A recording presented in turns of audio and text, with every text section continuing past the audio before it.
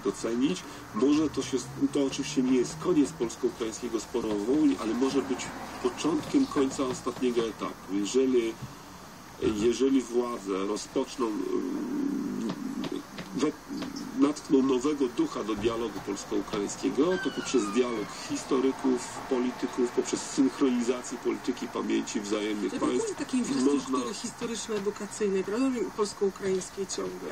brakuje przede wszystkim zrozumienia przez polityków polskich i y, ukraińskich, że to jest problem tyleż historyczny, co polityczny i że nie można go bez przerwy odkładać na, y, Że teraz na jak się go nie odkłada, to bardzo niestety też zaczyna się gra polityczna. To, to jest jeszcze bardziej może niebezpieczne, nie wiem. Ale nie gra się, gra się, proszę mi wierzyć, i w ten sposób i strona ukraińska również gra tą e, tematyką. My w Polsce często mówimy, że w Polsce e, ileś osób gra w Wołyniu. Otóż koledzy ukraińscy e, przyjmując ustawy historyczne, to oni rozpoczęli dyskusję o, e, o historii i to oni zaczęli grać w Wołyniu, prawda? można przypomnieć, że są na wojnie z Rosją, ale to już To, to prawda, ale dlaczego zaczynają dyskusję o historii? profesor Grzegorz Motyka, szef Instytutu Studiów Politycznych Polskiej Akademii Nauk, był Państwa moim gościem. Weekendowy poranek FM. Reklama. Magazyn Coaching. Twój rozwój, sukces, szczęście. Podpowiemy Ci, jak się dobrze przyjaźnić i zbudować sobie sieć wsparcia. Pomożemy przygotować się do rozmowy kwalifikacyjnej. Doradzimy, jak wybaczyć sobie dawne błędy i zacząć cieszyć się życiem. Magazyn Coaching. Wspieramy w rozwoju. Kiedy mamy ochotę na seksy, Godzinę przed biorę tabletkę. przygotowujemy kolację. Mam czas wyjść z psem i o ile coś nam nie przeszkodzi i ciągle mamy ochotę, Zdarza się to rzadko. udaje nam się trafić do łóżka. Nie chcesz czekać godzinę? Stosuj regularnie suplement diety Permen King. Zawarty w nim Tribulus terrestris wspomaga sprawność seksualną. 9 na 10 mężczyzn jest zadowolonych z efektów niebieskiej tabletki Permen King. Permen. Bądź zawsze w męskiej formie.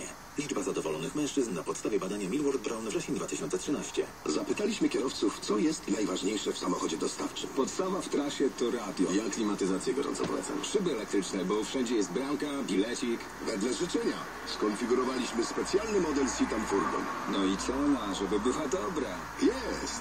Citan Furgon wraz z wyposażeniem dodatkowym. Teraz tylko 51 990 zł netto. Pospiesz się. Liczba samochodów jest ograniczona. Sprawdź też ofertę na pozostałe modele Vito, Sprintera i klasę V. Zapraszamy do salonów Mercedes-Benz. Reklama.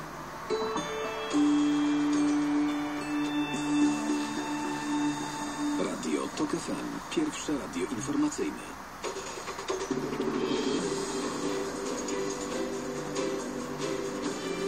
Ósma 40. Agnieszka Lipińska. Rozmieszczenie na wschodniej flance czterech wielonarodowych batalionów, dalsza pomoc dla Afganistanu i zacieśnianie współpracy z Ukrainą to najważniejsze ustalenia dwudniowego szczytu NATO w Warszawie. Nadal niespokojnie Dallas po czwartkowej strzelaninie komenda główna policji w tym mieście poinformowała, że dostała anonimowe pogróżki pod adresem funkcjonariuszy.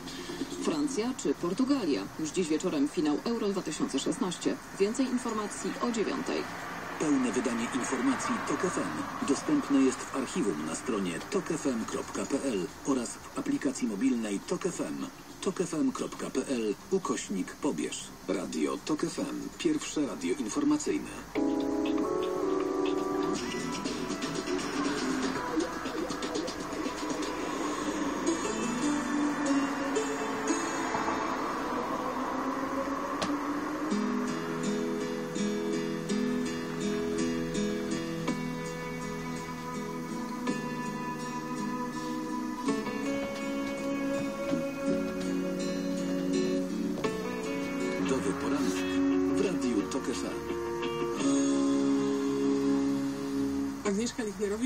Lichnerowicz. Przed chwilą słyszeli Państwo e, utwór z ścieżki dźwiękowej do filmu Łowca Jeleni, bo o Łowcy Jeleni będziemy teraz rozmawiać. Jakub Majmurek z Dziennika Opinii z Krytyki Politycznej jest teraz Państwa moim gościem. Dzień dobry. Dzień dobry Państwu. E, Pretekstem jest smutna wiadomość, e, dlatego że śmierć reżysera i współscenarzysty filmu Łowca Jezie- Jeleni Michaela Cimino, Cimino, Cimino chyba Cimino. się, albo Cimino chyba Amerykanie bardziej wymawiają, ale z włosku to by było Cimino prawidłowo. E, Więc e, Zmarł 2 lipca mm, autor Łowcy Jeleni.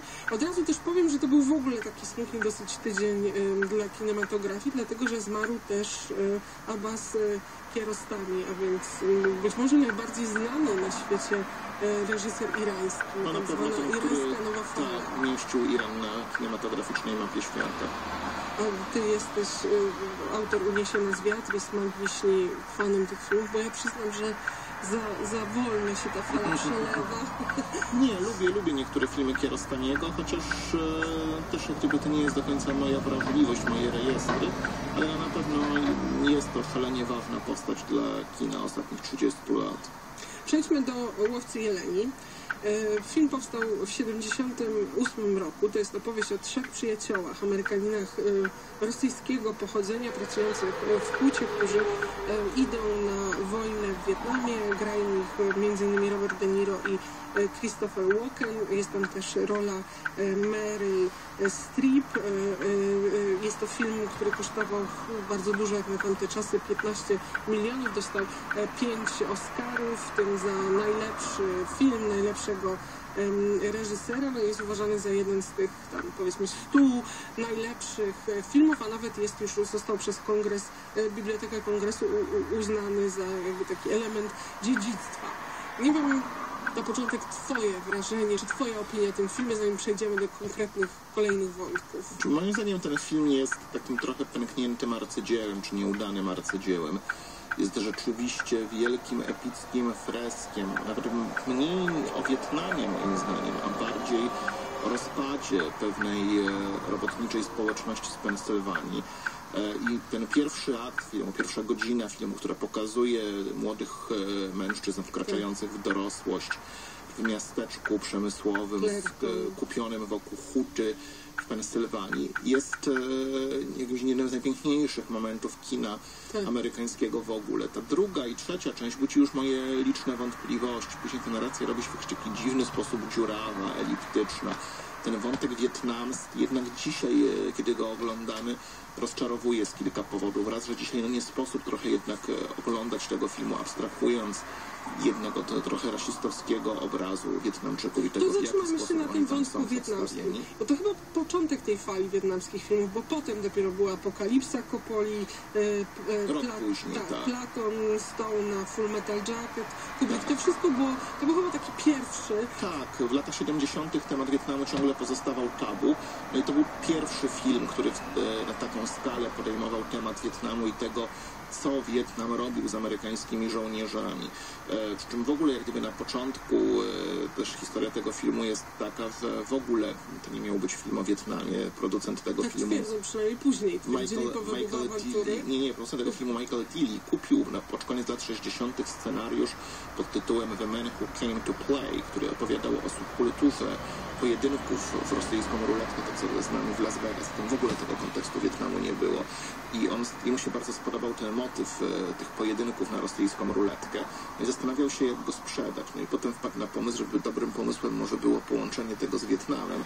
No i wynajął Michaela Cimino, żeby pod tym kątem razem z jeszcze jednym scenarzystą przepisał scenariusz. Więc też jak gdyby cały ten wątek w ogóle z tą rosyjską ruletką budził olbrzymie kontrowersje, no bo nie ma w zasadzie żadnych udokumentowanych skazań, które by pokazywały, że coś takiego w ogóle w Wietnamie miało miejsce. Bo powiedzmy, że to I miała być rosyjska ruletka, do której byli przymuszani Więźniowie wojenni Amerykanie. Tak, I że to Wietnamczyków. jest po prostu fantazja wzięta z zupełnie innego filmu i przeniesiona w wietnamski kontekst. Bo to są takie poruszające sceny, jak oni naprzeciwko siebie, Wietnamczycy, sadzają e, Zmuszają ich do gry, aż jeden z nich nie zginie. Tutaj też to wywołało olbrzymie kontrowersje, kiedy ten film miał premierę na festiwalu w Berlinie. Radziecka delegacja Tak, zażądała... Polska też wyszła podobno. Tak, Polska w ogóle z całego bloku wschodniego zrezygnowało dwóch członków jury w sprzeciwie. No i do dzisiaj, jak gdyby ten film budzi kontrowersję, on już wtedy był krytykowany przez od lewicowych krytyków filmowych, którzy zarzucali mu rasistowski, rasistowski obraz Wietnamczyków. Tutaj Pauline Kiel pisała między innymi, że przy całym swoim epickim rozmachu jest to bardzo małostkowy film, którego e, moralna wyobraźnia nie jest większa od najbardziej reakcyjnych filmów Clint'a Eastwooda. Chodzi o to, że ci e, bo, bo, bo, bojownicy, partyzanci w Wietkongu no, są sadystami. Tak, są odhumanizowanymi sadystami. To też nie był pierwszy film, jedyny film Chimina, który się spotkał z takimi zarzutami, jeśli chodzi o przedstawienie Azjatów. Też jego późniejszy film z 85 roku, Rok Smoka, który mówił o nowojorskim detektywie, który walczy z triadami w Nowym Jorku, także zebrał podobne zarzuty. Wydaje mi się, że nawet e, bardziej niż e, to, że rzeczywiście Wietkong jest przedstawiony jako sadysty czy grupa sadystów, problematyczne w tym filmie jest to, że cała sprawa Wietnamu jest tam całkowicie odpolityczniona. Właściwie ci żołnierze mogliby trafić gdziekolwiek indziej. E, Dlatego też mówię, że to nie jest tak bardzo film o Wietnamie, że sama sprawa wietnamska w ogóle tam nie istnieje. Nie znamy kontekstu politycznego tej wojny. Nie wiemy po co tam jadą e, ci amerykańscy chłopcy. Oglądając ten film można też odnieść wrażenie, że największymi ofiarami wojny są e, amerykańscy żołnierze, wieśniacy spalonych napalmem wietnamskich wiosek mogliby się nie zgodzić. A ty też masz takie poczucie, że w tym sensie to jest film rasistowski i taki miał być w intencji wymiar jako propagandowy tego Propagandowy filmu? na pewno nie, to na pewno był film, który próbował podejmować jakieś rozliczenia. Producenci tego filmu, kiedy ten film był w wersji gotowej montażowej, to w ogóle zastanawiali się, czy tego filmu nie odłożyć na półki, albo w ogóle, czy, czy, go, czy, czy nie zrezygnować z jego realizacji, gdyż byli przekonani, że ten film ma antyamerykański wymiar. Ta Jednak ostatnia, ta, ostatnia scena- kiedy bohaterowie śpiewają w barze God Bless the USA po pogrzebie wykończonego przez wojnę bohatera, e, granego przez Christophera Walkera, została uznana za taką bardzo szyderczą, No właśnie, ironiczną. ja, się, ja przyznam, że obejrzałam wczoraj jeszcze raz ten film i się zastanawiałam, czy to jest ironizowanie, to znaczy szydera właśnie z hymnu i z tego wielkiej Ameryki, która to robi, czy jednak w ostatecznym rozrachunku niezwykle patriotyczna taka No, scena Spielberga. spory. Mnie się wydaje, że raczej nie jest to taka właśnie naiwnie patriotyczna scena jak u, jak, jak u Spielberga. Jest to film, który próbuje dokonywać rozliczenia, rozliczenia Wietnamu, ale jednocześnie tak naprawdę tą kwestię Wietnamu całkowicie odpolitycznia i w swojej wizji Wietnamu no jest, tak jak właśnie też to pisała Kill, no bardzo tak naprawdę parafialny. Ten Wietnam, zaczynamy z tej małej pensylwańskiej miejscowości i wracamy do niej, chociaż bohaterowie przemierzają kilkaset tysięcy kilometrów, no to tak naprawdę nie wydaje się, żeby się w ogóle mentalnie gdzieś tam poruszyli poza to, poza to miasto. Ale to co, jest to taki film pacyfistyczny, w tym sensie pokazujący, jak destrukcyjna jest W tym wojna? sensie gdzieś tak, tutaj na pewno jest to film, który mówi o tym, że żołnierze, prości żołnierze wysyłani na front są ofiarami wojny, no ale też taki pacyfizm moim zdaniem trochę nie wystarcza, brakuje tam e, bardzo mocno tego szerszego kontekstu. I to jest później trop, który często amerykańskie kino w ostatnich latach będzie podejmować w filmach wojennych, czy czeka nas cały szereg obrazów, nie tylko dotyczących wojny w Wietnamie, które właśnie pokazują żołnierzy jako przede wszystkim ofiary wojny, bez jakiegoś zastanawiania się, kto tych żołnierzy tam wysłał, po co, jaki jest sens ich obecności, czy są może wojny bardziej lub mniej sprawiedliwe. No i to jest e, ten trend, który właśnie tutaj wyznacza e, łowca jeleni. Bo ja tak się w takim razie zastanawiam, o czym jest ten film. Znaczy myślę, że on jest przede wszystkim o kilku, on jest o kilku rzeczach. Raz on jest o tym właśnie, jak Wietnam zniszczył pokolenie amerykańskich mężczyzn. On jest o takim pourazowym stresie antywojennym. On jest o takim e, przekraczaniu smugi cienia i wejściu w dojrzałość. Ten film zaczyna się od rytuałów inicjacyjnych dwóch równoległych, z jednej strony małżeństwa, które, e, ślub, który, który ma, który, prawda, wchodzi jeden z bohaterów, z drugiej tego polowania na jelenie, ostatniego przed wyprawą do, do Wietnamu, który jest takim znowu Tak, ale nachalna jednak paralela, e, znaczy ta przenośnia, symbolika w tym filmie z tym polowaniem, nie? Tak, jest. No i tutaj rzeczywiście dużo krytyków e, wskazywało też na to, że to jest film bardzo pretensjonalny. Te zarzuty pojawiały się od, od początku. Długi, właśnie pretensjonalny, przekonany o własnej ważności. Inny krytyk... Histeryczny ktoś nawet napisał. inny krytyk Jonathan Rosenbaum napisał, że ten film przypomina pozbawionego kości słonia, który przez trzy godziny siedzi nam na kolanach i zamiast znaleźć sobie uczciwą pracę w zoo lub cyrku, e, przekonuje nas o tym, jak bardzo jest ważny dla świata. E, I tego typu złośliwe jakości e, ten film gromadzi. Ja się z nim nie do końca zgadzam. Tak jak mówiłem, dla mnie ten film jest takim pękniętym arcydziełem. I ja go czytam przede wszystkim jako film gdzieś tam o zmierzchu amerykańskiej klasy robotniczej. Widzimy w tym filmie, i to jest też w nim wyjątkowe, że on od tego problemu Wietnamu podchodzi ze strony bohaterów jednak bardzo wyraźnie też klasowej tożsamości. To są e, robotnicy z jakichś hutych miasteczków w Pensylwanii. Widzimy taką bardzo spójną, bardzo gęstą społecznie, społeczność robotniczą. To jest też ciekawe, że tutaj jak gdyby ten film e, poprzez swoją datę premiery i poprzez czas, który pokazuje na ekranie, e, porusza temat dwóch momentów rozpadu tej społeczności. No Bo jednym momentem takim oczywistym, obecnym na ekranie jest Wietnam, a z drugiej strony już w momencie tej premiery ta rzeczywistość, którą film pokazuje w pierwszym akcie, rzeczywistość tego, tej robotniczej wspólnoty, gdzie ci ludzie e, żyją w takim też dosyć dużym materialnym bezpieczeństwie, świecie, który wydaje się zupełnie oswojony, przewidywalny, no jest zniszczona już nie przez Wietnam, ale przez drugi kryzys naftowy, jest zniszczona przez pierwsze neoliberalne reformy, które wprowadza w Ameryce tak naprawdę nie Reagan, ale już administracja e, Cartera, zaczynając proces deregulacji, deregulacji gospodarki.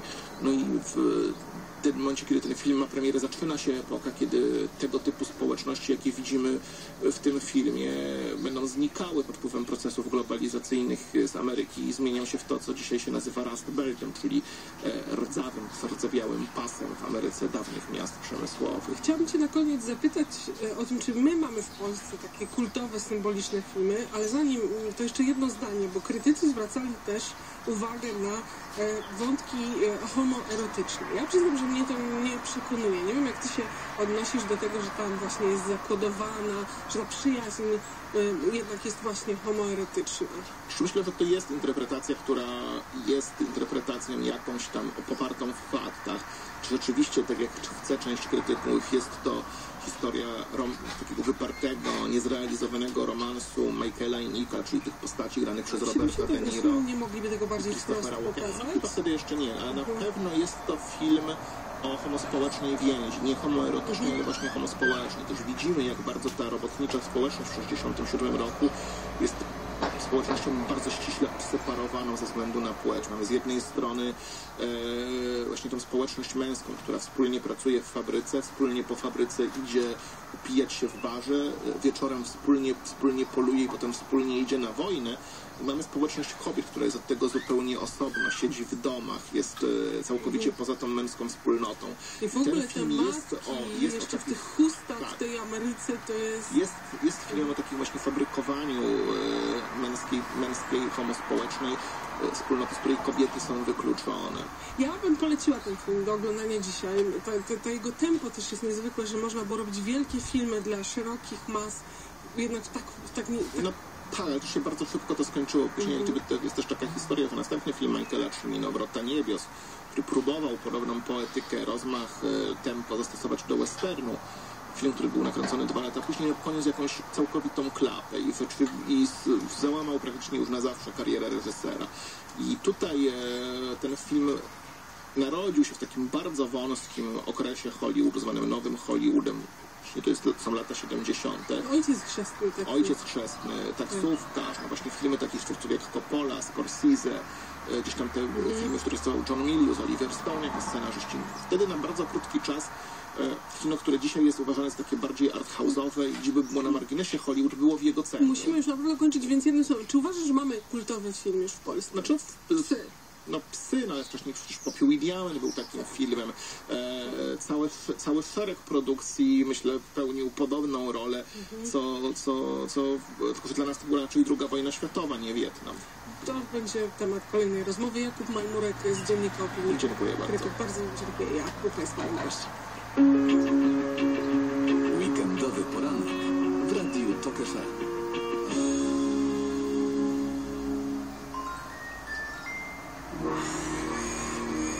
Rozmawiałem z George'em Foremanem, który komentował dla NBC. Miał wtedy 43 lata i chciał walczyć. Ja mówię do niego, George, ale czy to nie jest za późno? On mi mówi, stary, przecież to nie jest death sentence, to przecież nie jest wyrok śmierci. Mówi, potem mając 55 lat, miał toczyć walkę, ale żona mu zabroniła. No i tutaj z Andrzejem było, to była podobna historia, przecież też żona nie, żona mu nie, nie, nie chciała, żeby walczył tym razem, Przy niedzieli o sporcie. Od 17 do 19. Tylko w Radiu TOK FM. Zaprasza Przemysław Iwańczyk.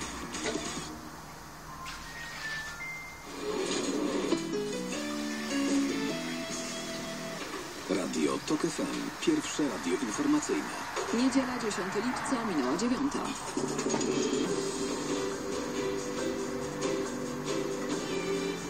Informacje TOK FM. Agnieszka Lipińska. Dwudniowy szczyt NATO w Warszawie przeszedł już do historii. Za chwilę o najważniejszych ustaleniach. Dziś 75. rocznica pogromu Żydów w Wiedwabnem. Korea Północna przeprowadziła wczoraj kolejną próbę, próbę rakietową. Manifestacja jedności sojuszu poprzez wzmocnienie wschodniej flanki, w tym skierowanie tysiąca żołnierzy amerykańskich do Polski, a także symboliczne i realne wsparcie Ukrainy oraz potępienie rosyjskiej okupacji Krymu. Tak można podsumować dwudniowy szczyt NATO w Warszawie. Na Stadionie Narodowym szefowie państw i rządów krajów sojuszu podkreślili, nakreślili plany NATO na kolejne lata. Drugi dzień przyniósł przede wszystkim decyzje dotyczące operacji sojuszu poza jego granicami. Drugiego dnia w Warszawie członkowie NATO zdecydowali o czterech podstawowych sprawach. Po pierwsze, Sojusz przedłużył misję w Afganistanie do 2020 roku. Po drugie, wesprze Unię Europejską w ochronie południowych granic przez walkę z terrorystami i przemytnikami ludzi. Po trzecie, skieruje samoloty rozpoznania radiolokacyjnego AWACS do walki z Daesh w Syrii i w Iraku. I po czwarte, pomoże Ukrainie w zakresie cyberbezpieczeństwa, logistyki i leczenia żołnierzy rannych w walkach z prorosyjskimi separatystami. A to dopiero początek, mówi sekretarz generalny NATO Jens Stoltenberg. W przyszłości będziemy współpracowali przy zwalczaniu improwizowanych materiałów wybuchowych i reagowaniu na wojnę hybrydową. Prezydent Andrzej Duda podsumowując szczyt zaznaczył, że potwierdzone zostały gwarancje bezpieczeństwa dla Polski, a do naszego kraju przyjadą żołnierze z innych państw. Te sojusznicze oddziały, one się w tej chwili formują. Oddziały amerykańskie, ale też brytyjskie i rumuńskie mają pojawić się w Polsce w przyszłym roku. Tomasz Pęcka, TOK FM. A tym, co pozostanie po tym szczycie, są też mocne słowa Baracka Obamy w sprawie Trybunału Konstytucyjnego. Po rozmowie z prezydentem Andrzejem Dudą przywódca USA oświadczył na konferencji prasowej, że przekazał polskiemu prezydentowi swoje zaniepokojenie sytuacją wokół Trybunału. Wezwał do pracy na rzecz utrzymania instytucji demokratycznych w Polsce. Wypowiedź Baracka Obamy próbowali bagatelizować prezydenccy urzędnicy. Tak mówił o tym Marek Magierowski. Pan prezydent e, Duda e, nie był zaskoczony tymi słowami. Powiedział, że trwają prace nad nową ustawą Trybunale Konstytucyjnym. Pan prezydent Obama docenił te starania. Ale zdaniem Mateusza Kijowskiego, lidera Komitetu Obrony Demokracji, to poważne ostrzeżenie. Słowa prezydenta oczywiście nie przywracają nas do niczego, ale są bardzo wyraźnym sygnałem, że Polska zeszła z drogi demokratycznych y, przemian po 1989 roku zapoczątkowanych, że cały świat widzi i komentuje to odejście Barack Obama podkreślił też, że praworządność, niezależna władza sądownicza i wolna prasa to wartości, którym Stanom Zjednoczonym bardzo zależy. A komentarze po szczycie NATO w programie Wybory w toku tuż po godzinie 10. Gośćmi będą dziś Jan Grabiec z PO, Janusz Zenka, eurodeputowany SLD, Maciej Konieczny z partii Razem, Paweł Kowal, były wiceminister spraw zagranicznych i były europoseł oraz Jacek Wilk z Kukiz 15. Dziś 75. rocznica pogromu Żydów w Wiedwabnem. Przed południem przy pomniku ofiar tamtych tragicznych zdarzeń odbędą się modlitwy. Według ustaleń śledztwa Instytutu Pamięci Narodowej 10 lipca 1941 roku w Wiedwabnem grupa polskiej ludności zamordowała z inspiracji Niemców co najmniej 340 żydowskich sąsiadów. Większość z nich, kobiety, mężczyźni i dzieci, została po zamknięciu w stodole spalona żywcem. W lipcu 1941 roku do pogromów doszło też w innych okolicznych miejscowościach, m.in. Radziłowie i Wąsoczu. Słuchasz informacji TOK FM. Francja czy Portugalia? Już dziś wieczorem finał piłkarskich Mistrzostw Europy. Na korzyść gospodarzy przemawia świetna ofensywa i statystyki z przeszłości, ale drużyna Fernando Santosa miała o jeden dzień odpoczynku więcej. Dotychczasowy bilans spotkań obu drużyn jest korzystny dla trójkolorowych. Z 24 potyczek z Portugalczykami ugrali aż 18. Pierwszy gwizdek o 21. Obie reprezentacje zmierzą się w podparyskim Saint-Denis.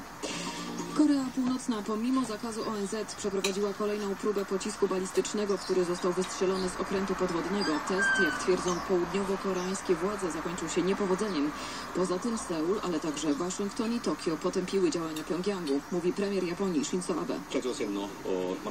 Prowokacja Korei Północnej jest wyraźnym kwestionowaniem rezolucji Rady Bezpieczeństwa Narodów Zjednoczonych i stanowczo potępiamy przeprowadzenie tej próby, jednocześnie współpracując ze społecznością międzynarodową.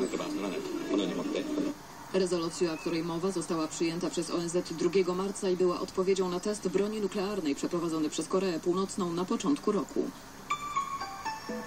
Pogoda. Na północy deszczowo, na północnym zachodzie burze, a nad resztą kraju przeważnie, przeważnie słonecznie. Na termometrach od 22 stopni w Trójmieście przez 23 w Białymstoku, 25 w Warszawie, Lublinie, Kielcach, Toruniu i Łodzi, 26 w Krakowie, 27 w Poznaniu, Szczecinie i Gorzowie, do 28 we Wrocławiu. Radio TOK FM. Pierwsze radio informacyjne.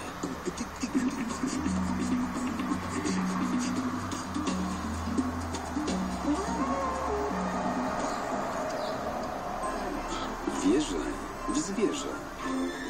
Zapraszam Dorota Sumińska. Zapraszam bardzo serdecznie, mimo pięknej pogody.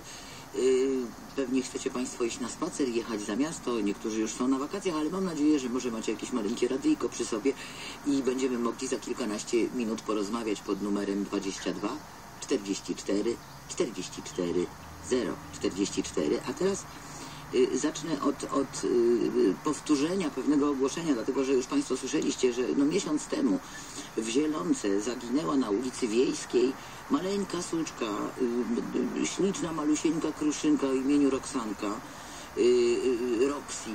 Do tej pory się nie znalazła, więc ja bardzo proszę mieszkańców Zielonki i okolic o, o to, żeby mieli oczy otwarte. Poza tym może ktoś ją przygarnął i akurat tak się trafi, że jest znajomym kogoś, kto słucha naszej audycji lub też sam jej słucha. Yy, podaję numer telefonu yy, opiekunów Roxanki, jej rodziny, która rozpacza i będzie rozpaczać, dopóki jej nie znajdzie. To jest 510 844 805 510 844 805. Mam nadzieję, że Roxanka się, się znajdzie, nie trzeba tracić nadziei. Y, W związku z tym zaginięciem Roxanki będę chciała porozmawiać z Państwem o tym, co zrobić, żeby zwierzęta nie ginęły. Ale zanim to zrobię, chciałam najserdeczniej na świecie pozdrowić Mińsk Mazowiecki y, i Bibliotekę Publiczną w Mińsku y, Mazowieckim, całą ekipę pracowniczą, a w szczególności panią Elżbietę Sieradzińską. Dlaczego? Ja chcę Państwu powiedzieć, że wszyscy ci, którzy mówią, że ja nie mogę, że coś mi się nie uda, y, powinni posłuchać tej krótkiej historii. A znaczy historia jest bardzo długa, bo trwała 10 lat, natomiast ja, ja opowiem o niej krótko. Pani Elżbieta Sieradzińska, która zaprosiła mnie do Miejskiej Biblioteki Publicznej na spotkanie czytelnicze, jest kruchutką, drobną blondyneczką, yy, taką kobietką, która wydaje się, że ma mało siły. Proszę Państwa, jest yy, tytanem, dlatego że Pani Elżbieta Sieradzińska napisała książkę o Cezarii, Cezarii Eworze, którą Państwo doskonale znacie zapewne, wspaniałej, wspaniałej pieśniarce z Wysp Zielonego Przylądka i wywiad z nią prowadziła przez 10 lat, jeżdżąc za nią wszędzie tam, gdzie ona jeździła. Yy, proszę pamiętać, że to są ogromne koszty, wydatki. To nie jest tak łatwo to zorganizować. Trzeba bardzo chcieć. A więc jeżeli się bardzo chce, to można wszystko. Pozdrawiam bardzo serdecznie Pani Elżbieto i Państwa wszystkich proszę, żebyście przeczytali książkę Cezaria Ewora Elżbiety Sieradzińskiej.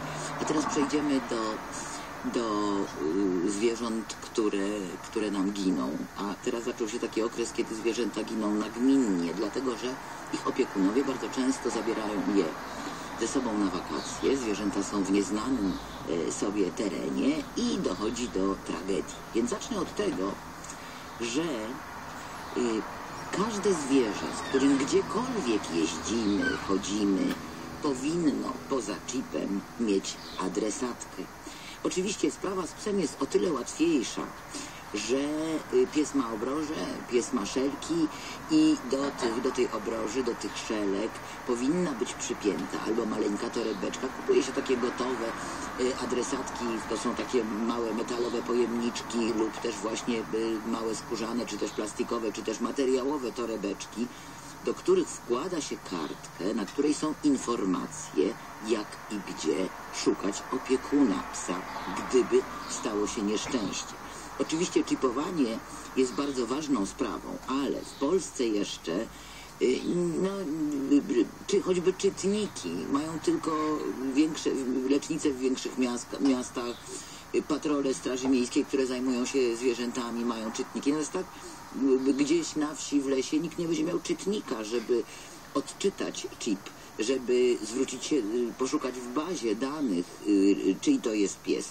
W międzyczasie on może trafić do schroniska, będzie to dla niego ogromnym, ogromnym traumatycznym przeżyciem. Natomiast adresatka jest y, taką formą y, informacji, z której można skorzystać natychmiast. Każdy z niej może skorzystać. Po prostu wyjmie papierek, przeczyta i zadzwoni. Więc bardzo namawiam wszystkich opiekunów psów do tego, żeby przy ich obrożach umieścili adresatki. One muszą, muszą być tak przymocowane, żeby zerwanie ich było niemożliwe. Oczywiście obroża musi być też tak zapięta, żeby trudno było ją zdjąć, bo wraz z obrożą spadnie y, adresatka. Y, Więc dopóki, dopóki każdy w Polsce nie będzie miał, znaczy nie każdy człowiek, ale każde takie miejsce, które jest odpowiedzialne za porządek publiczny, będzie miało czytnik do chipów, to bardzo proszę o adresatki. Tak naprawdę to zawsze, to, to na pierwszy rzut jest lepsza y, y, adresatka. Więc y, chip jest zabezpieczeniem, jeśli ona by zginęła, prawda? A, a, a, ale zachęcam do tego. Z kotami jest inna sprawa. Ja już wielokrotnie Państwu mówiłam, że kot to nie pies i kotów nie należy wyprowadzać w mieście na smyczy, wypuszczać z transportera gdziekolwiek w obcym terenie. Kot, który wychodzi na dwór, kot, który mieszka tak jak moje koty, ma swój dom, ma kochającą rodzinę, ale ma też możliwość życia y, y, prawie wolnego, bo chodzi sobie po wielkim ogrodzie, wychodzi sobie za płot na łąkę. Y, Młode koty wychodzą, starsze już nie chcą. I, I wracają do domu, no wieczorem to, prawda, wracają o tej porze, o której nauczyłam wracać, ale w cały dzień nikt ich nie kontroluje, chodzą gdzie chcą, ale to jest ich decyzja, one znają ten teren. Jak koty się uczą, jak poznają teren. Y, najpierw, kiedy trafiają do, kiedy moje koty, mieszkające y, przedtem w mieście, y, nie wychodzące w ogóle na dwór, y, trafiły do nowego domu, to przez pierwszy miesiąc penetrowały ten dom. Wcale nie wychodziły, nikt, nikt jej nie, nie, nie pilnował, żeby nie wychodziły, ale nie chciały wychodzić. A sami Państwo wiecie, że jak kot czegoś nie chce, to, to nie chce. Y, I po miesiącu mniej więcej zaczęły wychodzić na taras, potem powolutku, powolutku zaczęły zagłębiać się w ogród. Także to wszystko trwało naprawdę bardzo długo. Oswajały się z tym miejscem w swoim tempie. Nikt im tego tempa nie narzucał. I teraz oczywiście y, znają doskonale swój dom, znają swój ogród, znają swoją okolicę y, i chodzą y, tam, gdzie chcą i kiedy chcą. Natomiast w obcym terenie kot kompletnie głupieje. On się czuje osaczony z każdej strony. To nie jest pies, który ma swojego przewodnika w postaci opiekuna i tak go powinien traktować. I patrzy, gdzie jest mój pan, jak jest mój pan, to jest okej, idziemy razem. Kot nie ma takiej natury. Kot nie jest zwierzęciem żyjącym w stadach rodzinnych, w grupach rodzinnych. Oczywiście przez chwilę żyje. Wtedy, kiedy kocięta są z matką, y, bywa, że koty się przyjaźnią i mają wspólne lokum, w którym nocują. Natomiast nie ma u nich takiej współpracy, jak w przypadku, w przypadku y, psowatych, jak w przypadku psów, jak w przypadku wilków, jak w przypadku likaonów. Więc nie można liczyć na to, że jeżeli wypuścimy kota z transportera i zawołamy do niego Maciuś, y, wracaj, to on wróci. Nie wróci. Co więcej, kot, który jest, y, czuje się, znaczy jest na obcym terenie, czuje się tym terenem wręcz osaczony, przerażony, będzie uciekał nawet przed swoim opiekunem. Y, On się będzie chował. Kot, kot po prostu boi się każdego ruchu. Jest to bardzo małe zwierzę. Jest to zwierzę narażone na cały szereg ataków większych istot, więc y, jego atawistyczny instynkt, który mówi kryj się, bo mogą ci zrobić krzywdę, jest bardzo silny. Odzyskuje go w warunkach takich, które uważa za zagrożenie. Dlatego bardzo proszę, żeby wszyscy ci, który, którzy podróżują z kotami, a tak się zdarza, że wyjeżdżają na urlop z kotem, choć przekonywałam Państwa wielokrotnie, że dużo lepszym wyjściem dla kota jest, kiedy zostanie pod czułą y, i znajomą opieką we własnym domu. To jest dla niego znacznie lepsze, dlatego że dla kota, który nie jest nauczony jeździć na przykład samochodem czy pociągiem, podróż jest czymś koszmarnym. Y, Więc jeżeli mamy w planach wyjeżdżanie z kotem, to musimy od kociaka lub od momentu, kiedy go mamy, uczyć go tego, nauczyć go tego, że transporter nie służy wyłącznie do, do wizyt u lekarza weterynarii, którego kot tak czy siak uważa za oprawcę, yy, tylko do, do, do miłych wycieczek, które może nie są najmilsze, ale kończą się czymś miłym. Yy, I yy, tak, żeby, żeby ta podróż nie była dla niego koszmarem. Jeżeli jedziemy z kotem do jakiegoś hotelu, to skazujemy go na przebywanie w zupełnie obcym miejscu samotne, dlatego że jeżeli jedziemy na urlop, to siedzimy, y, nie siedzimy w hotelu, prawda, tam śpimy, y, a, a cały dzień spędzamy, a to na plaży, a to w lesie, a to na wycieczce takiej czy, czy, czy innej. Y, W związku z czym też zastanówmy się, czy to dla kota jest prawdziwy urlop, czy to jest droga przez mękę. Y, Pies pod tym względem jest zupełnie inny. Pies y, y, psi dom jest tam, gdzie jego rodzina. W związku z czym pies będzie się czuł doskonale y, i w samochodzie, gdzie, jeżeli jest nauczony jeździć samochodem, no, troszkę tak jak z człowiekiem, y, są ludzie, którzy cierpią na chorobę lokomocyjną, można ją wyleczyć, y, ale no, niektórzy nie znoszą tego, więc jeżeli chcemy podróżować z psem y, samochodem, też musimy go nauczyć jazdy samochodem, żeby nie przeżywał tego i, no, i nie cierpiał z powodu choroby lokomocyjnej. Ale wrócę do kota. E, I znaczy wrócę do psa, który, który traktuje, sa- jeżeli lubi jeździć samochodem, samochód jak swój dom, jak swoją budę, hotelowy pokój, jak swój dom pod warunkiem, że tam jest jego rodzina. Kot jest w innej troszeczkę sytuacji y, i troszeczkę, kot się, ludzie niektórzy twierdzą, że koty przyzwyczają się do miejsca, nie do ludzi. Nie, nieprawda. Koty czują się bez, bezpiecznie w znajomym miejscu, a w obcym miejscu, nawet ze swoim ukochanym człowiekiem, nie czują się bezpiecznie. Nie mają y, w swoim instynkcie, w, swoim, w swojej psychice zapisanego, zapisanej informacji, że tam, gdzie jest przewodnik, tam jest bezpiecznie. Dlaczego? Bo nie mają przewodnika. Dlatego, że gdyby kot y, żył sobie w naturalnych warunkach i był dalej żbikiem, żyłby na własny rachunek. I nawet jeśli przyjaźniłby się z innym żbikiem, to musiałby liczyć na siebie w sytuacjach zagrożenia. Oczywiście kocięta mogą liczyć na matkę, ale pewnego dnia dorastają i to dorastanie w przypadku kotów jest właśnie przejściem na, na, na, na własną odpowiedzialność y, w każdej dziedzinie życia. Y, Zdarza się tak, i coraz częściej tak się zdarza, że koty potrafią wykazać y, typ, nietypowo kocie zachowania społeczne, ale musimy powiedzieć, że każdy, zdawać sobie sprawę, że każdy gatunek ewoluuje i zmienia się troszeczkę i sposób, w jaki żyje, fenotyp kształtuje genotyp, prawda? Sposób, w jaki żyje, ma zawsze zasadniczy wpływ na to, jak się zachowuje i jak będą zachowywały się jego dzieci. Ale jak na razie y, takie zachowania y, są dość rzadkie, w związku z czym bardzo proszę nie wypuszczać kotów z transportera. Za chwilę wracamy do rozmowy. Wierzę w zwierzę.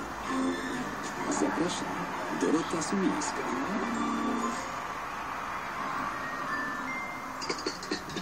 Wybory w toku. Nie, dlatego, dla, dlatego, że, dlatego, że, dlatego, że, właśnie dlatego, że ja powiedziałem to, co Pani było. poseł, czy pani też tak uważa? Panie redaktor, ja takich e, wypowiedzi akurat nie słyszałam. I uważam, że ja, każdy polski obywatel mam prawo w tym uczestniczyć. Oczywiście, że e, podtrzymujemy to, co zawsze mówiliśmy. To byłby wielki, gdyby miał tę odwagę i w odpowiednim momencie przyznał się Wybory w toku. Polityczne podsumowanie tygodnia co niedziela po 10. Zaprasza Dominika Wielowiejska. Reklama. W życiu wybieram tylko to, czego jestem naprawdę pewny. To daje mi satysfakcję. Stawiam na nowoczesną technologię, przyjemność prowadzenia, piękny, zmysłowy design. Bez wątpienia taki jest nowe Renault. Nowy Megane Talisman Espace Kadżar Captur. Otwórz się wątpienia to najlepszy moment, by przesiąść się do nowego Renault. Zostaw swoje auto w rozliczeniu i zyskaj nawet do 10 tysięcy złotych. Wybierz nowe Renault. Szczegóły oferty w salonach. 17 projekcji, wśród nich Met kontra Bolshoi, 6 koncertów, Orchestra of the Americas, Zubel, Duchnowski, Sinfonia Viva, 16 Festiwal Ogrody Muzyczne, 15 lipca, 9 sierpnia, Dziedziniec Zamku Królewskiego w Warszawie, www.ogrodymuzyczne.pl Dolnośląska Federacja Organizacji Pozarządowych informuje. Myślisz o założeniu stowarzyszenia lub fundacji? Potrzebujesz wzmocnić swoją organizację? Odwiedź dolnośląskie punkty konsultacyjno-doradcze dla organizacji pozarządowych i bezpłatnie skorzystaj z naszego wsparcia. Od 2011 roku doradzamy, animujemy i informujemy dzięki partnerskiej współpracy Dolnośląskiej Federacji Organizacji Pozarządowych, Stowarzyszenia Tratwa i Urzędu Marszałkowskiego Województwa Dolnośląskiego. Wejdź na stronę www.inkubator.ngo.info i znajdź najbliższy punkt w Twojej okolicy. Reklama.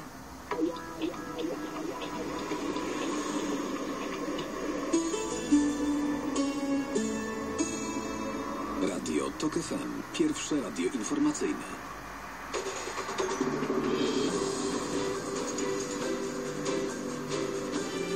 Dziewiąta dwadzieścia. Agnieszka Lipińska. Wzmocnienie wschodniej flanki NATO, dalsza pomoc dla Afganistanu i zacieśnienie współpracy z Ukrainą to najważniejsze ustalenia dwudniowego szczytu NATO w Warszawie. Dziś 75. rocznica pogromu Żydów w Jedwabnem. Wielka Brytania nie powtórzy referendum w sprawie Brexitu. Władze odrzuciły internetową petycję w tej sprawie podpisaną przez ponad 4 miliony osób.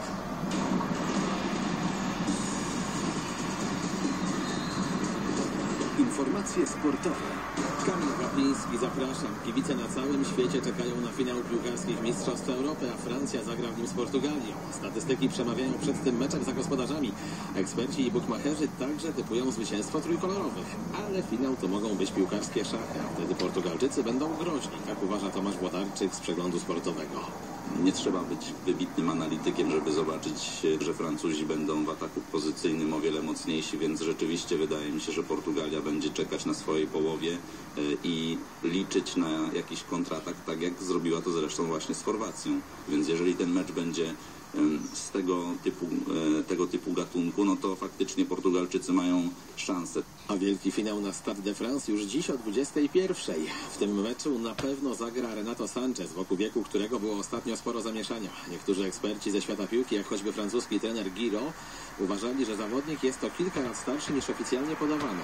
Portugalskie media przedstawiły jednak dokument ze szpitala w Lizbonie, z którego wynika, że Sanchez rzeczywiście urodził się 18 sierpnia 1997 roku. A rozstawiona z jedynką Serena Williams wygrała wielkoszlemowy turniej na trawiastych kortach Wimbledonu. Amerykanka pokonała w finale Niemkę polskiego pochodzenia Angelikę Kerber 7-5-6-3. O szczegółach Michał Waszkiewicz. Serena Williams w końcu dopięła swego. Amerykanka pokonała w finale Wimbledonu Angelikę Kerber i wyrównała fantastyczny rekord Steffi Graf 22 wygranych wielkoszlemowych turniejów. Finał stał na bardzo wysokim poziomie. W pierwszym secie dopiero w końcówce zdeterminowana Williams przełamała rywalkę. W drugim poszło nieco łatwiej, bo Niemka nie utrzymała podania już w siódmym gemie. Tym samym Amerykance udał się rewanż za porażkę w tegorocznym finale Australian Open. To siódme zwycięstwo Syreny na londyńskiej trawie. Rekordzistką jest Martina Nawratilowa, która wygrywała tam dziewięć razy. Michał Waszkiewicz, TOK FM. Serena razem z siostrą Wenus wygrały wczoraj także finał Debla, odnosząc tym samym 14 wielkoszlemowe zwycięstwo, a dziś finał panów. Andy Maraj zagra z Miloszem Raoniciem. Radio TOK FM. Pierwsze radio informacyjne.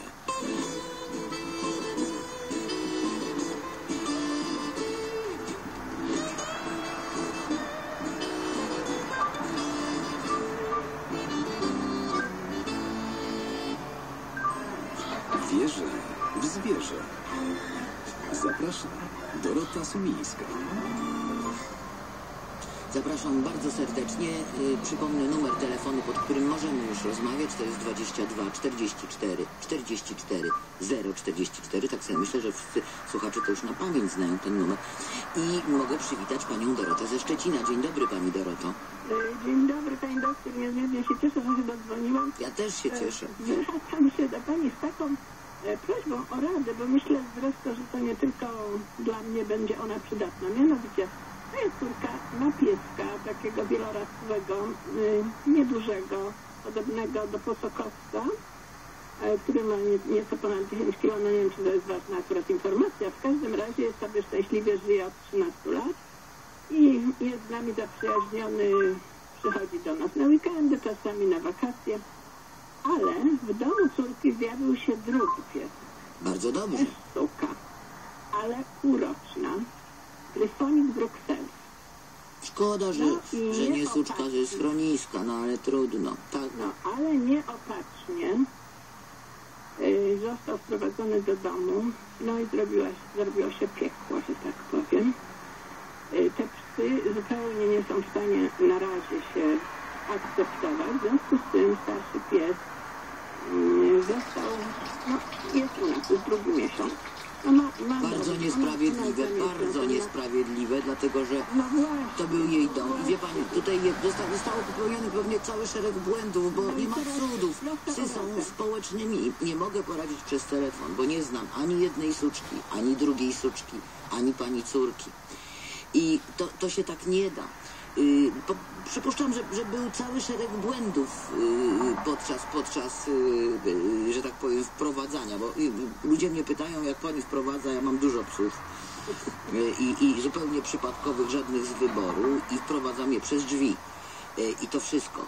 Yy, I widzi pani, mm, przypuszczam, ponieważ tam to jest półroczny, śliczny, malutki, rasowy piesek, że cała rodzina, prawda, a dla całą, nawet jeśli córka jest sama, to jest całą rodziną, dla suczki, która obecnie jest u pani. Nie, to w ogóle rodzina, rodzina, no, większa niż... No to tym bardziej, jeżeli ona jest większa, ta rodzina, to wszyscy byli zachwyceni y, tym maleństwem i wszyscy adorowali to maleństwo. Tymczasem ta suczka, która jest ważniejszym mieszkańcem domu, której to jest dom, poczuła się zaniedbana. I zachowała się dokładnie tak samo, jak zachowuje się dziecko, które ma kilka lat, rodzi się mu brat lub siostra i cała rodzina przestaje na nie zwracać uwagę i zwraca y, tę uwagę na to maleństwo. Jest po prostu bardzo zazdrosne takie dziecko i doktor, ja wszystko rozumiem, wiemy, że to tak jest, wiemy, tylko w ogóle był kontakt tych psów no, ograniczył się do, no, nie wiem, kilkunastu minut je rozdzielono. Potem spróbowaliśmy raz wspólnego spaceru, to znaczy myśmy, mm, i córka prowadziła właśnie tą starszą suczkę, yy, wnuczka tą mniejszą, ale właśnie, no, czy ma Pani jakiś pomysł, jakby je można ze sobą odstąpić? musiałabym je poznać. One nie są samochodami, w którym trzeba odpowiedni poziom olejów, żeby byli, będzie dobrze działał silnik. No ale jakieś metody takiej komunikacji społecznej. Proszę pani, y, tak, ale to, to, y, y, to jest bardzo indywidualna sprawa, bo tam nie było stada, tylko jedna suczka i jest druga malonka suczka. I trzeba pamiętać, po pierwsze, że smycz jest zawsze wrogiem porozumienia. Jakiekolwiek ograniczenie jest wrogiem porozumienia. Dotykanie psów wtedy, kiedy mają się poznać, jest, czy mówienie do nich jest, y, y, uniemożliwia porozumienie. Nikogo się nie dotyka, do nikogo się nie mówi. Jeżeli ktoś na kogoś walczy, to się tupie i krzyczy, że nie wolno. I w ogóle jest się totalnie obojętnym. Nie wolno do nikogo się zwrócić, bo natychmiast coś się wydarzy. Wie pani, to są, są to takie zasady. Natomiast jeżeli chodzi o to, reguły, których się zawsze trzeba trzymać, Natomiast y, te, te niuanse, y, y, które zawsze, zawsze zależnie od, od charakteru, no każda, każdy pies ma swoją osobowość, każdy jest inny, tak samo jak każdy człowiek. W związku z czym opiekuniowie są inni, inne są zwyczaje domu. Y, I dlatego ja nie jestem w stanie tej sytuacji rozwiązać, a uważam, że bardzo źle, w ogóle bardzo źle stało się, że ta duża suczka, której dom jest u córki, przyszła do pani, a nie odwrotnie. Naprawdę. To jest bardzo niesprawiedliwe. No właśnie, I no, bardzo nie fair wobec niej. Myślimy, żeby to zamienić. Żeby to Absolutnie zamienić, tak być nie może. Tak być nie może. Ona, się, ona jest naprawdę w, w czarnym nie, dole. Nie, no oczywiście, oczywiście. I, I to jest niesprawiedliwe. No zresztą córka nad tym też boleje, ale się troszeczkę obawiała tego nam dawać, żeby sprawiłaby to za dużo nam kłopotu, ale, ale jesteśmy gotowi to Naprawdę, proszę zabrać tą małą, a niech o, Sunia kochana, jak ma na imię? Czarka. Czarka. Czarowania. Kocha, tym bardziej, takie śliczne imię. Niech Czarka wróci do swojego domu, bo to jest jej dom. Dziękuję, dziękuję. To tak właśnie chyba jednak trzeba będzie zamienić. Bardzo, Dziękuję bardzo proszę. Bardzo dziękuję Pani doktor i w ogóle bardzo dziękuję za tę audycję. Z przyjemnością słuchamy. Ja bardzo dziękuję za te słowa i pozdrawiam serdecznie. Dziękuję bardzo. Do usłyszenia. Y, Jest z nami pani Ewa z Celestynowa. Dzień dobry, pani Ewo. Dzień dobry pani doktor. Cieszę się niezmiernie, że mogę Ja z panią też. porozmawiać. E, Mam taką sprawę. Dwa lata temu przybąkała się do mnie kotka, taka czteromiesięczna. Ja mieszkam blisko lasu, więc mówię, że przyszła z lasu. Była troszeczkę, e, chyba jakieś traumatyczne przejścia, bo jest bardzo płochliwa. Nie, nie wierzy nikomu, jest tylko ze mną. Jeżeli ktokolwiek obcy zjawi się w domu, od razu ucieka. Boi się jakichś ostrych sygnałów, w tym y, dużych hałasów, nawet sygnałów z komórki, prawda? Ja też ich nie lubię, więc ją No rozumiem. właśnie. E, Więc y, najczęściej, najlepiej się czuje, kiedy przebywa na dworze. Oczywiście zima to jest ciepło, dom, piec, no wtedy jest jej najlepiej. Ale latem przebywa cały czas na dworzu, no tylko przychodzi pojeść, pospać czasami jak deszcz pada, tak to, to, to, to cieszy się najlepiej w ogrodzie lub poza nim. I teraz jest taki problem, że ja prawdopodobnie będę zmieniała mieszkanie, no niestety na blok. Wielki problem, wielki no tak. problem, I nie wiem ogromny teraz, problem. co ja teraz z tą kotką biedną zrobię. Nie ma, nie ma wyjścia, musi pani ją zabrać. No zabiorę ją, tylko jak ona się będzie czuła? Y, Na początku będzie trudno, ale wie pani, zwierzęta czasem nas zaskakują, bo wydaje się, że będzie bardzo trudno, a okazuje się, że wcale nie jest trudno. Y, Więc też tak może być, nie można z góry założyć, ale na, na, na pewno no, zabierze się jej coś, co jest dla niej ważne, tym bardziej, a, a, a, a musi pani koniecznie zbiera, zmieniać, no może uda się zostać. Nie, niestety raczej nie. Ale jest to raczej, więc tego się trzymam. No mam się tak, nie, no już postanowione w zasadzie, więc... więc Ale zawsze może jeżeli postanowione, a nie poczynione są jeszcze jakieś kroki, to może jeszcze cofnąć to postanowienie. No nie uda się już niestety, to względy zdrowotne niestety. Rozumiem. Rolę. Także za duże obciążenie. Bo widzi pani, gdyby w tym domu, w którym pani teraz mieszka, zamieszkała osoba, która y, kocha zwierzęta, która przejmie opiekę nad kotką, to wtedy byłoby dobrze. Natomiast nie, nie wiem, czy tak będzie, bo, bo powolutku by oswoiła kotkę ze sobą, bo jednak kotka ma swój dom, do tego domu by wracała. Tylko no, nie, nie wiem, jak, czy, czy dom zostaje w rodzinie. Podobnie pies, więc y, ona się bardzo boi psów. Szczekania psa ogóle ucieka. Płochliwa jest bardzo płochliwa. No to, no to musi pani ją zabrać, no musi pani ją zabrać. Znaczy nie chyba. Nie może pani jej zostawić na niepewny los. Bo można by było zostawić, jeżeli ma się 100% pewności, że osoba, pod której opieką zostanie, y, sprawdzi się. Y, natomiast tutaj, jeżeli jest jakiś, jak, jak, jakakolwiek y, prawda, wątpliwość, to proszę tego nie robić. Tak, rozumiem. Pani doktor, jeszcze jest taka sprawa. A jak zachowywałam się, no tak pytam na wszelki wypadek, gdybym na przykład wzięła młodego kota małego. Młodego broń Boże, młodego broń Boże, bo młody to, to dla niej by było naprawdę Przeżycie y, okropne, no bo młody się czepia bez przerwy. Dorosłe koty nie lubią się bawić, z, chyba że są mamą, ale mamy też mają, kocie mamy też mają, tak jak i ludzkie, ograniczoną cierpliwość. Y, W związku z czym, jeżeli brać drugiego kota, to brać starszego kota, który jest spokojny, który nie... I wtedy okej, wtedy bardzo dobrze. Ze schroniska wziąć jakiegoś starszego, spokojnego kocinę. Y, Ale nie, ko, nie, nie, nie kociaka. Rozumiem. Pani doktor, jeszcze jedno, czy to ma być kotka ewentualnie? y, Zdecydowanie raczej kocur, dlatego że kotki, takie, te kotki bywa, że się bardzo przyjaźnią, ale jak już się pokłócą, to pogodzić się trudno. Ko z- zachęcam do kocura, jeżeli jest Czyli kotka. jeżeli to kocur, rozumiem.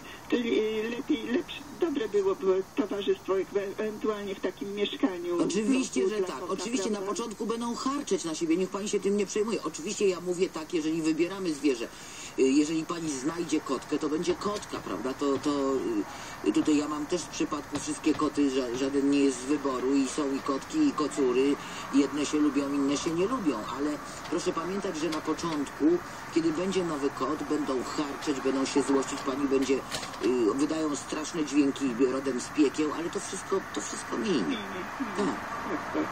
Dobrze, dobrze, dziękuję uprzejmie w takim razie. Za... Dziękuję, pozdrawiam serdecznie. I trzymam kciuki, żeby ta przeprowadzka przeszła bez bólu lub z maleńkim. Dziękuję bardzo i dziękuję za wspaniałe programy. Dziękuję bardzo. Do usłyszenia Pani Ewo. Y, Jest z nami Warszawa i Pani Małgorzata z Warszawy. Dzień dobry Pani Małgorzato. Dzień dobry pani doktor. Ja, ja mam taką sprawę. Podaniem kotce y, tabletki y, na rower. Zaraz pani króciutko Tak. wyjaśni co i jak. Y, Kotka, y, odstałam ją od maja zeszłego roku, a miałam dziecka w sumie, która odeszła. Ja tą kotkę No to po co pani chce jej dawać proszek na robaki? To jest kotka, która jest... Robaki, pani doktor. Wszystkie koty wolno żyjące mają robaki. Wszystkie mają robaki. Jak o, pani ją oswoi i jak ona już... Pani doktor, chwileczkę. Ona jak się zorientowała, że moja sunia odeszła i już ona jest bezpieczna, ona się do mnie sprowadziła. Zresztą ja ją Cudownie. zachęciłam. Cudownie. Y, Najpierw były drzwi pootwierane, potem coraz bliżej. Czyli ona No już ona mieszka z panią. Ona już mieszka. A ja nie, jak ona już mieszka...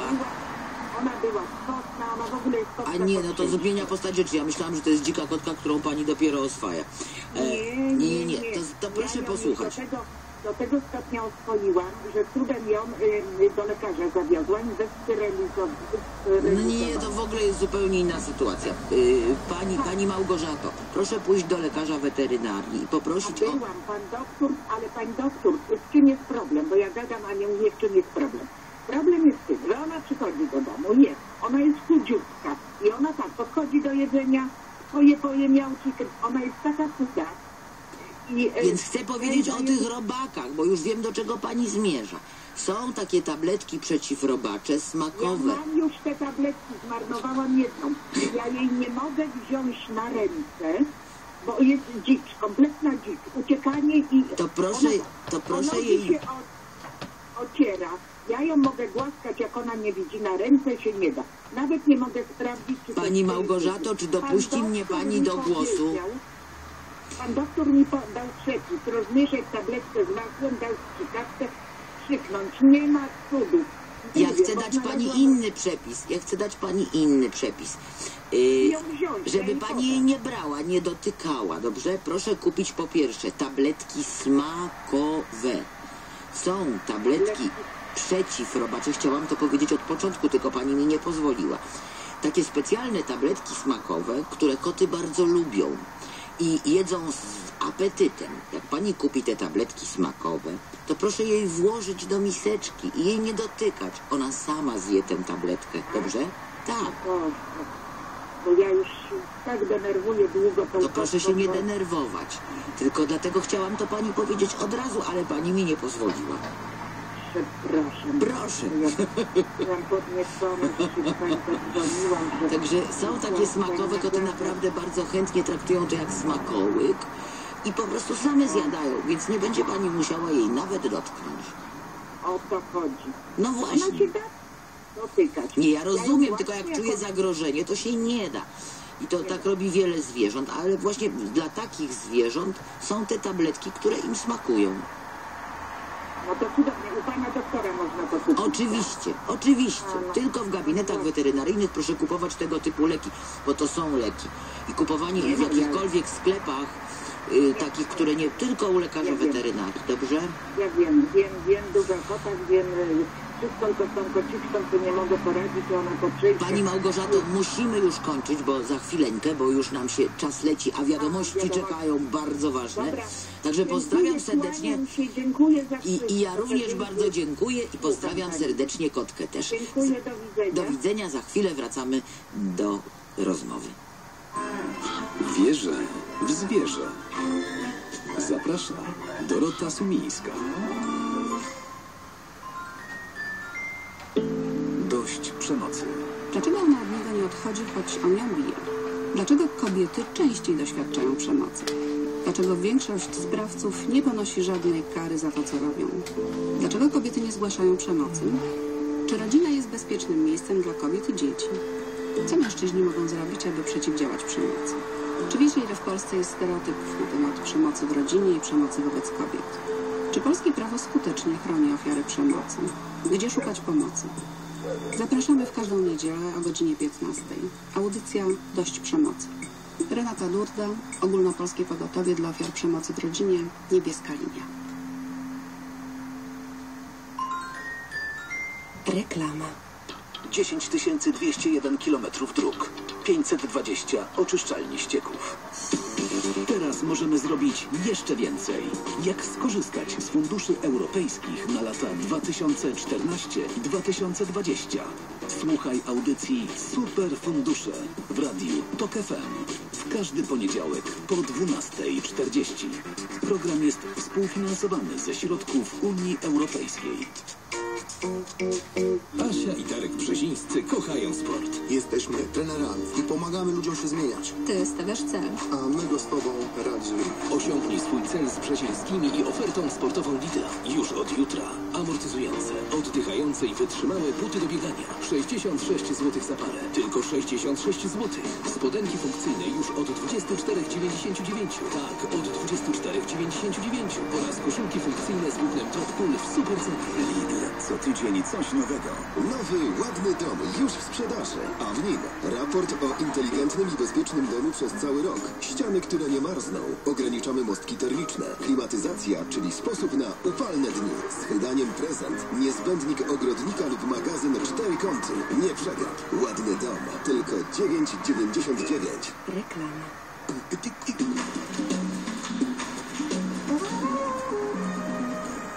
Radio TOK FM. Pierwsze radio informacyjne.